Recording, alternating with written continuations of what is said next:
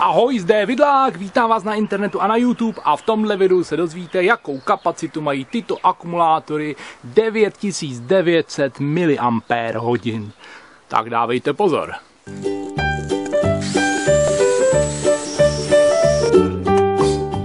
Mám tady další balíček z Číny, opět je to z obchodu AliExpress a určitě jste zvědaví, co v tom balíčku bude, já už to tuším.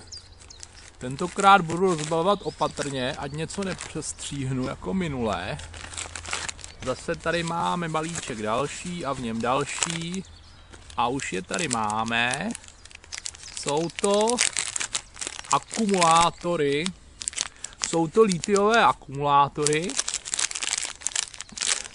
značky GTF a když se na ně podíváme, tak zjistíme něco neuvěřitelného a to sice, že mají kapacitu 9900 mAh neboli 9,9 Ah. No, vzhledem k tomu, že špičkové akumulátory od Panasonicu nebo od jiných firm mají kapacitu e, přibližně třetinovou, tak můžeme říct, že tahle kapacita je nesmyslná a já budu rád, když budou mít tedy reálnou kapacitu asi tak třetinovou nebo čtvrtinovou.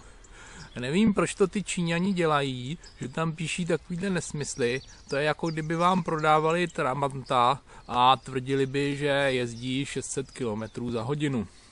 Nakonec mi to nedalo. Z Číny jsem objednal takovýhle držáček na akumulátor, takovýhle měřič, který dokáže změřit kapacitu a takovýhle zatěžovací odpor.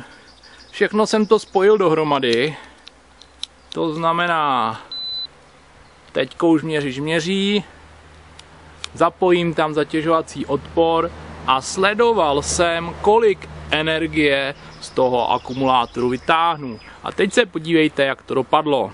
Vidíme, že na začátku dával akumulátor 3,79 V, odebíral se proud žádná celá 69 A, což bylo 2,625 W výkonu.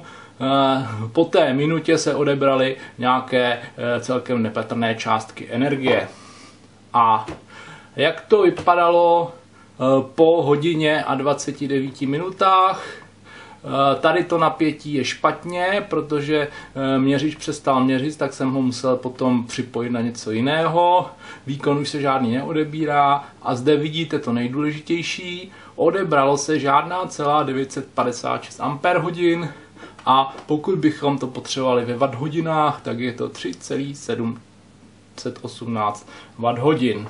Čili vidíme, že tento akumulátor nemá 9900 mAh, ale přibližně desetinu. Jedná se o tiskovou chybu a my si tady můžeme udělat desetinou tečku, jedná se tedy zhruba o 990 mAh. Tak.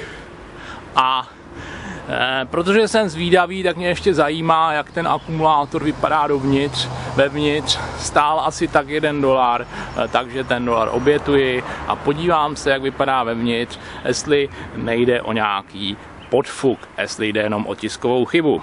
Pro jistotu si vemu brýle a gumové rukavice, tak jdeme na to.